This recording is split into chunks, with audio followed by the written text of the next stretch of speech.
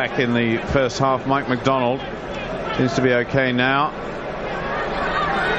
And all of a sudden, USA have stolen the initiative, and uh, here we go. Salesi Sika, one against one, and uh, Jason Robinson hurtling back, but it's picked up by the USA scrum half, Chad Erskine, but they'll have to come back. Uh, a moment of glory. well, they look very threatening there. Salesi Sika didn't quite have the pace to go all the way, but uh, he certainly caused England defence a few problems. Great offload there. Well taken by Hercus. He's a big man, this fella, isn't he? Well, he is. It'll take a wee bit of time to uh, get going. But great defensive play by Jason Robinson because he went and slapped the ball down and, of course, forced the knock on. It was all started on the other side of the pitch there by Ngwenya, who certainly has got legs on. This is another American player who sounds as though he shouldn't be playing for the USA. But uh, that try, obviously not given, much to the uh, disgust there of Pete Thorburn and his team.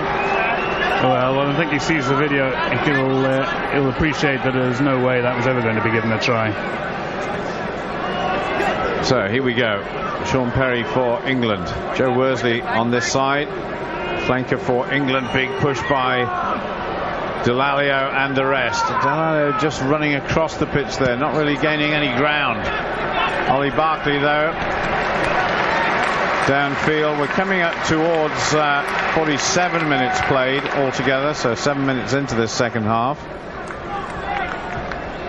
Mark Regan just uh, applauding his players, asking for the extra yard. That's much better by Barkley. Much more controlled clearance. 50 yards or so on it. Well, look, with guys like Simon Shaw and Ben Kay in the uh, lineup, they must know they can attack any throw in and any options that the Americans throw at them. Here we go. Kay goes up. Look at that. Great jump by England. Now they've got momentum. But if they leave it too long, of course, the American defense will get organized. Dallaglio just trying to pull his team round, but he can't push in that position there. But what about this? Here goes Sheridan. Little dummy from the prop forward. He's a massive man. And uh, certainly it took more than just Louis Stanfill in there to stop him. Shaw couldn't quite get the pass away. He had Tom Rees waiting on the outside, or Mark Regan rather. So not forward. England will get the put in. Well, that was much better by England, and uh, you know, came from a catch and drive at the line out, and then it's this big fella in space took on Salesi Sika, and then quick ball, and that's been the difference. Now, I think Shaw should have given given that a little bit earlier because I don't think there was anyone outside him. That was Mike Hercus, the American captain, who got his hands on that one.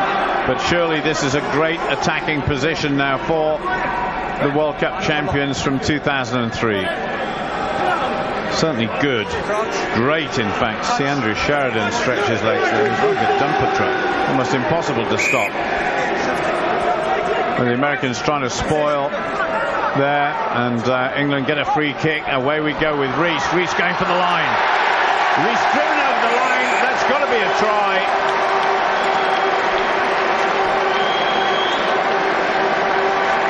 So this is Mr. Kaplan looking for a little bit of direction there from uh, Stuart Dickinson, the fourth official. That's got to be a try for the England flank forward. Tom Rees of Wasps and England surely has got one.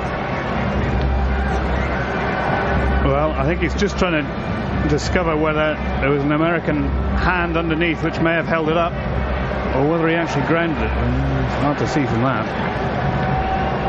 I'd give it. Uh, you've got to see the ball being grounded. There's all sorts of angles, of course. We haven't seen the reverse angle yet. That may help. We still can't see it, No. so the fourth official will still not be convinced because he hasn't seen the ball grounded. Well- Even there with the body of uh, Mike Hercus behind it. That's interesting. From that angle, you see Mike Hercus putting his ball, hand on the ball, almost in the position that's. Well, It's a try. Maybe they saw an angle that we didn't, but uh, that is a try. muted applause from Jonny Wilkinson, along with uh, some of the other guys that aren't playing for England here. We, of course, got some great players over there. Steve Borthwick, Nick Easter, Perry Freshwater, Andy Gomarsall, of course, and uh, Wilkinson himself. So that score by Tom Rees takes the score on to 26. Can Olly Barkley get the extra two?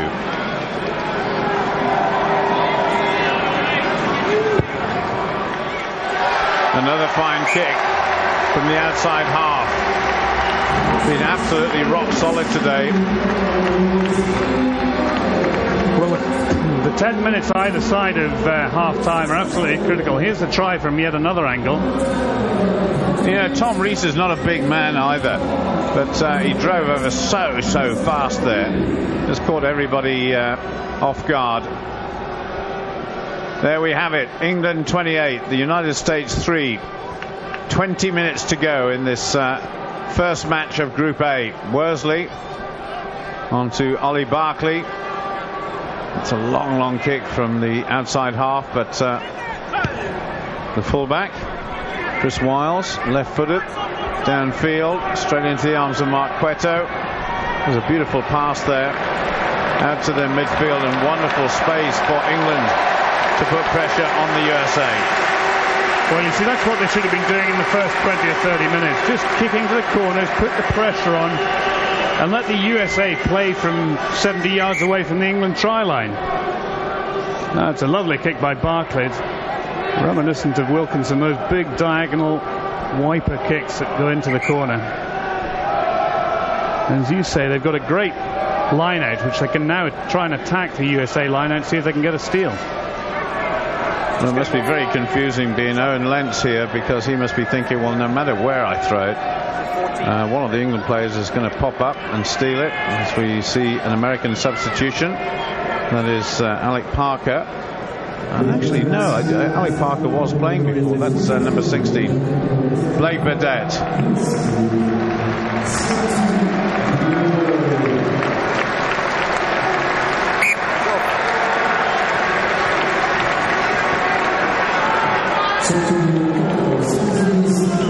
So the Americans trying to reorganize a little bit. Robbie, is there any sign of uh, any England uh, substitute? Can't quite see from here.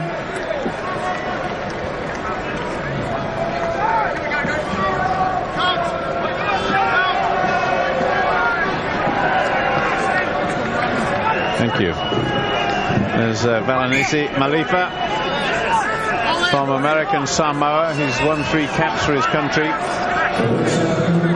So the gap, 25 points. Regan way over the back. That was a misunderstanding. It was either a poor throw or the message didn't get through to the England hooker. The Americans have got a chance there. That almost was a touch forward. And Paul Emerick there trying to stay on his feet. Losing ground there onto the prop forward who really made no headway for the USA but this is one of the best periods of possession they've had almost in the whole game. Very neat and tidy there by Emerick. But England have stolen it. Dallaglio good hands. Back inside. No momentum going forward though. And that was Messi beautifully through the legs there by Cueto and uh, on to Jamie Noon. But this uh, is not the right result as far as England were concerned. Stolen once again by Emerick for the USA. Little show and go there, but came to nothing. Certainly Chad Erskine desperately trying to get that ball away quickly. The chip forward there by the American number 10. Eventually was picked up by Mike Mangan. Giant lock, lock forward for the USA. Again, the chip forward from Mike Hercus. Now, what can England do from here? Dallaglio wants to go on his own. Hasn't got the support, though. Just taking their time. Mike Catt it was who tidied up there. And here we go, Worsley. This is better from England. Josh Lewsey wants support, gets it eventually to Perry. And uh, Phil Vickery was outside him, but uh, decided to go himself. Dallaglio in support, trying to roll them over. Now here go England on this left-hand side. Oh, dear me. Well, Robinson was uh, chasing after the ball, but that all seemed too static from England. Well, it was not a classic case. They should have moved the ball left. They had men out wide, plenty of people there, and yet it all got slowed down. And, uh, well, here's the knock on there. It's replacement Malifa, I think, knocked it on. In view of the experience that Josh Lewsey has, I'm surprised that, uh, you know, he did that. He's actually got to stand up and stay strong and wait for players to come in around him, and then uh, England can move the ball forward. Well, Henry Bloomfield is on the number eight, and uh, Inaki Basauri, another uh, foreign import who's actually born in Mexico. And away England go once more. An opportunity here. Little chip forward and the chase is on, but uh, that was almost uh, a five-pointer for England. Josh Lewsey prefers to keep it in the hands, but it was a very, very good chase there by the American substitute. And that was a bit messy, wasn't it?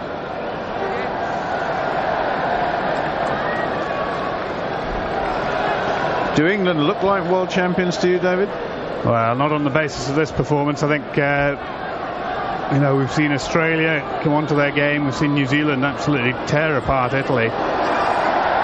And uh, you'd have to say that um, I think on the basis of current World Cup performances, either of those sides would beat England. Well, that actually came off the uh, the foot there of Jason Robinson. So the USA will have the throw in here, but as uh, they well know, England will attack the throw in as Mark Cueto.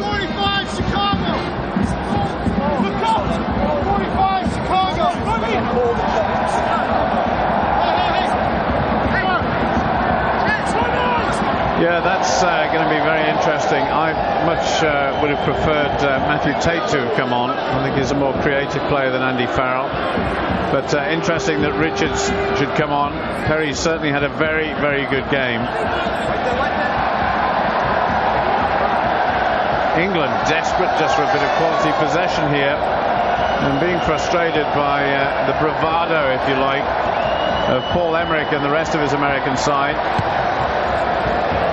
That will go into touch, and that presumably, David, will be a chance for England to make their substitutions. And interesting to see what sort of role they're going to use Andy Farrell in.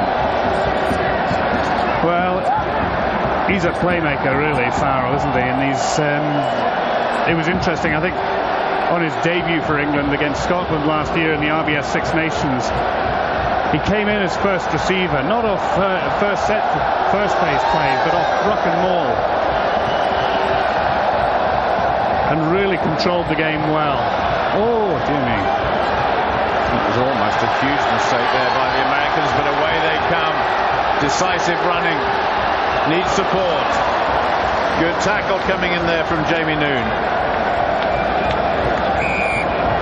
onto the American forwards. They're just slow to arrive, but it was an England hand that the referee saw. And so England will be penalised. As the man who uh, made that, Jamie Noon. Tom Rees going in there. Couldn't quite catch his man, could he? It was a great little breakout. Well, fantastic pace from the fellow who spent uh, 10 minutes in the sin bin, Isikia.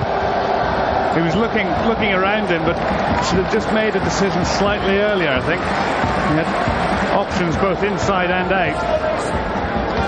He seemed to have all the time in the world, looking right and looking left. There's the captain. And I think is uh, Mike MacDonald, this giant prop forward for the. Uh...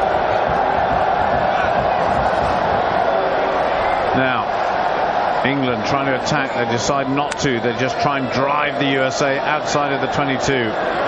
But uh, referee there saying it wasn't straight. So England preferring to take the scrummage. Number 16 on this side for the USA, Blake Burdette. He's playing in his sixth international. He's going to find it hard against uh, Andrew Sheridan. There's a guy with a few muscles.